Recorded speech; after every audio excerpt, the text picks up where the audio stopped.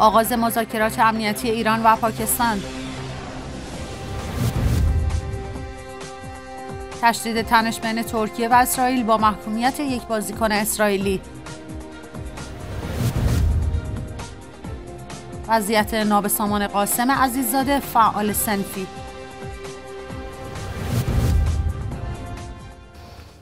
هر جای این گیتی هستید روز و شبتون بخیر باشه. امروز 25 دی ماه با من سارا ساسانیان خواهید بود از استودیوی خبری کانال یک. با ما بمانید. اعلام جرم جدید علیه نیلوفر حامدی و الهه محمدی به دلیل کشف حجاب بعد از آزادی موقت. پایگاه خبری میزان خبرگزاری رسمی قوه قضاییه جمهوری اسلامی ایران از تشکیل پرونده جدید برای نیلوفر حامدی و الهه محمدی به علت کشف حجاب پس از آزادی خبر داد.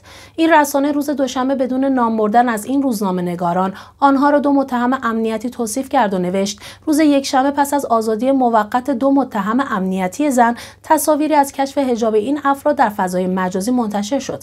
در پی این اقدام ضمن اعلام جرم پرونده جدیدی برای این متهمان در دادسرای عمومی و انقلاب تهران تشکیل شد. هر دو متهم ممنوع خروجند و هر کدام با سپردن قرار وسیقه تا زمان صدور رأی دادگاه تجدید نظر بیرون از زندان خواهند بود.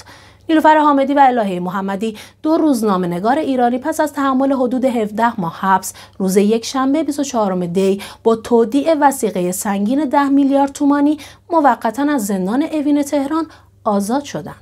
نیلوفر حامدی خبرنگار روزنامه شرق و الهه محمدی. خبرنگار روزنامه همیهن پس از کشته شدن محسا امینی در بازداشتگاه گشت ارشاد جمهوری اسلامی و آغاز خیزش سراسری ایرانیان. به دلیل پوشش اخبار مرتبط با جزئیات این واقعه مصاحبه با اعضای خانواده محسا امینی و سپس تهیه و انتشار گزارش از مراسم خاکسپاری او در سقز به دست نیروهای امنیتی جمهوری اسلامی بازداشت شدند. شعبه 15 دادگاه انقلاب تهران به ریاست قاضی ابوالقاسم صلواتی در سیوم مهر 1402 این دو روزنامه نگار را به اتهام همکاری با آمریکا، اجتماع و توانی علیه امنیت ملی و تبلیغ علیه نظام به 13 و 12 سال زندان محکوم کرد.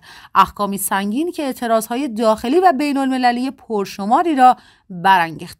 این دو روزنامه نگار پیش از آزادی موقت از ابوالقاسم صلواتی قاضی پروندهشان به دلیل خودداری از آزادی آنها در پایان یک سال بازداشت موقت شکایت کرده بودند.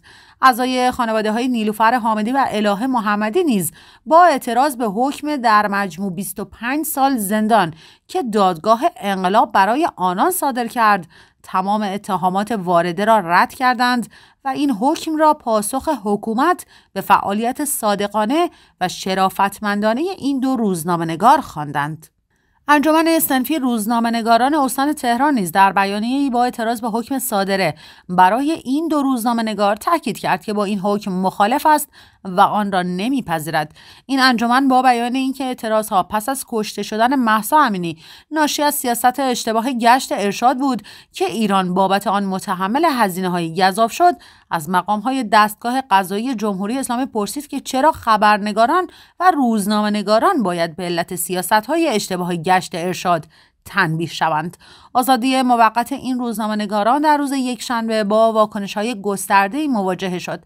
در کنار خوشحالی اعضای خانواده و همکاران نیلوفر حامدی و اله محمدی این موضوع هم در شبکه های اجتماعی بازتاب یافت که حکومت در آستانه انتخابات تلاش دارد بار دیگر با وانمود کردن به وجود آزادی اجتماعی و سیاسی در ایران مردم را پای های رأی بکشاند. فرزانه روستایی روزنامه‌نگار و تحلیلگر سیاسی در این زمینه به ایندیپنت فارسی گفت که آزادی این دو روزنامه‌نگار در کنار پخش برنامه های انتقادی تکرار ترفند فضای نسبتا باز سیاسی پیش از انتخابات در جمهوری اسلامی است. او تاکید کرد مردم ایران سالهاست که این بازی را شناختند و امسال هم هیچ دلیلی برای شرکت در انتخابات مجلس ندارند. وضعیت زندگی مردم در ایران نسبت به قبل بدتر شده و زندگی در تمام ابعادش با بحران مواجه است و برگزاری انتخابات هم تنها برای جابجایی قدرت میان طبقه حاکم و با هدف تقسیم بیشتر ثروت و قدرت میان اقلیت فاسد ایران انجام می شود. تیغ هجاب بر سر رسانه ها روزنامه اعتماد مجرم شناخته شد. روزنامه اعتماد به دلیل انتشار نامه محرمانه وزارت کشور با تیتر پشت پرده هجابان ها مجرم شناخته شد. خبرگزاری تصنیم اعلام کرد که اعضای هیئت منصفه دادگاه های سیاسی و مطبوعاتی مدیر مسئول روزنامه اعتماد را با اکثریت مطلق آرا مجرم شناختند. بر همین اساس سخنگوی هیئت منصفه اعلام کرده که اتهامهای بهروز بهزادی نشر عکازی و چاپ و انتشار اسناد رسمی و محرمانه در تاریخ پنجم آذر امسال با تیتر پشت پرده هجابانها بود.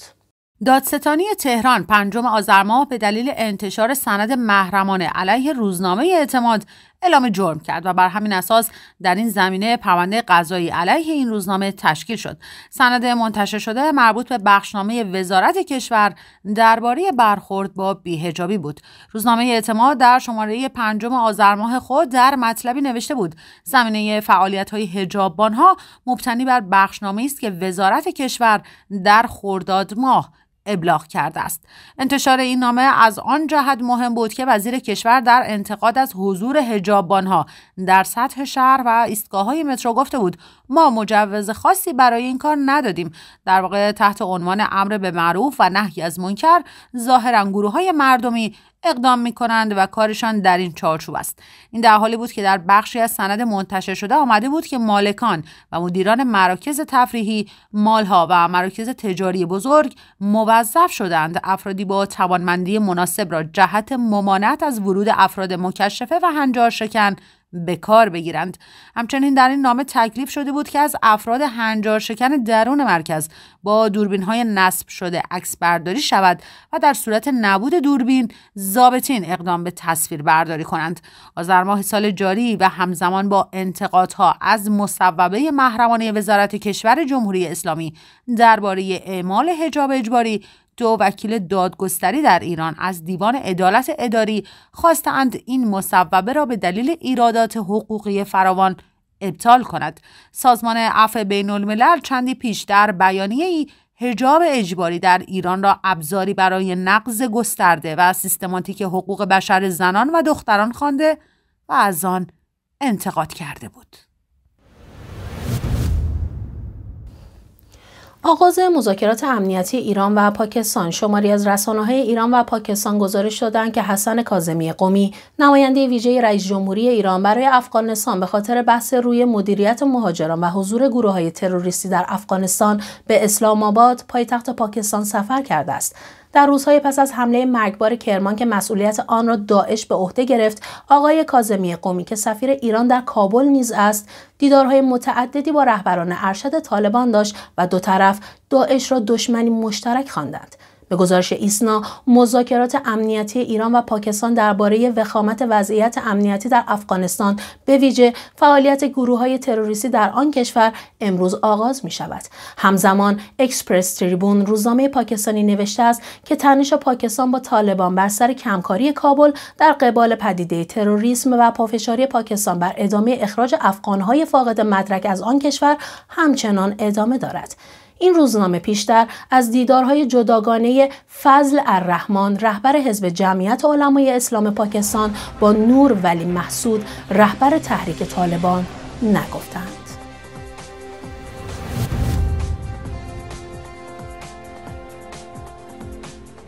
ستاره صبح ولی الله سیف بانک ها در چنبره زیاندهی پیام ما. رقم صادرات فرش از دهه 80 کاهشی شده. فرش ایرانی در رؤیای بازگشت. اعتدال. برق ایران از مسیر ترکیه به اروپا رسید. جام جمع. لیست های انتخاباتی در خدمت مشارکت. آرمان امروز هشدار با هنر درباره شکست انتخاباتی اصولگرایان جمهوری اسلامی خونین ترین آمار در تاریخ جنگ های جدید 100 هزار فلسطینی قربانی 100 روز جنایت صهیونیست ها در غزه جوان عدم احرازها در مرحله شورای نگهبان کاهش می‌یابد. کیهان سید حسن نصرالله در جنگ با صهیونیست ها نه می ترسیم نه حد و مرز می شناسیم. قدس دو خبرنگار در جمع برترین های ششمین جشنواره تولید ملی رسانه آرمان ملی زل سوم نقشافرین اصلی انتخابات اسفند کیست؟ ابرار. بسیاری از معتقدین به هجاب شلاق زدن را محکوم می کنند. اخبار صنعت ابلاغ آینامه واردات خودروهای نو. اقتصاد مردم مالیات طلافروشان و دلالان ملک کمتر از کارگران و کارمندان است. روزگار معدن تأثیر فرسودگی بر راندمان حوزه معدن. دنیای اقتصاد گزارش ها از بازار مسکن افت تورم اجاره پایتخت را نشان می دهد. کار و کارگر دهکبندی فعلی کشور ساختار درستی ندارد. جهان صنعت نظامی ها شرکت نفت را زمینگیر می کنند.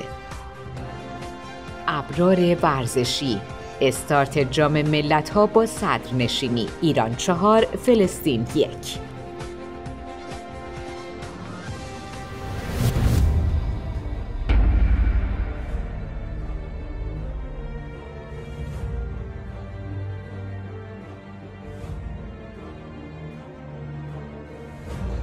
استکهلم چهارده جنوری 24 دی.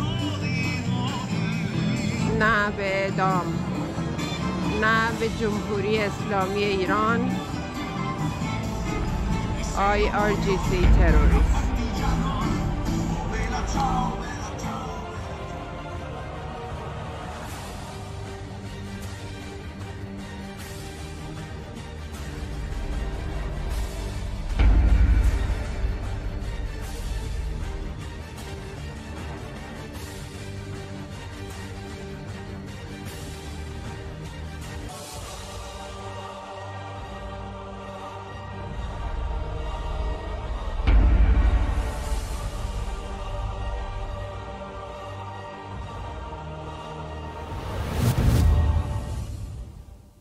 و در ادامه اخبار با شما خواهیم بود. ابراز نگرانی فعالان سنفی به وضع جسمانی عزیز قاسم زاده 444 فعال سنفی معلمان و کارگران در بیانیه خطاب به داستان استان گیلان نسبت به وضعیت سلامتی عزیز قاسم زاده هشدار دادند و خواهان مرخصی یا آزادی او شدند. او 20 دی ماه امسال اسناد پزشکی معتبر و تشخیص پزشکان متخصص در خصوص تداوم مرخصی درمانی را به زندان لاکان ارائه